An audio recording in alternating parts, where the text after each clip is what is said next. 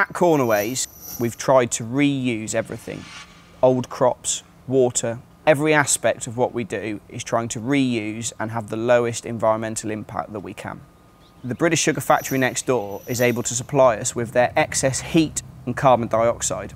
So that would previously have gone into the atmosphere, whereas we're able to take that and grow tomatoes from it, making us the lowest carbon footprint grower in the UK.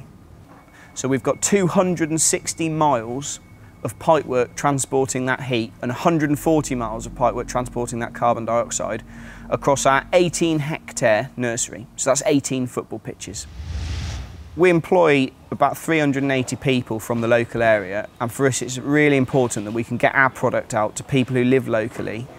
This summer our relationship with the East of England Co-op got even closer as we were invited to work alongside them in some local shows. That's been fantastic for us to get out and meet our local customers. It's really helped us to understand how much people value a locally sourced product. One of the things that's also really important to us is growing as naturally as possible. So on this site, we're using British bees to pollinate our flowers. We use natural predators to eat any pests. And we use biological sprays in order to control any disease. By growing as naturally as possible, we believe it's the right way to grow tomatoes. And we believe they're the best tasting tomatoes in the world.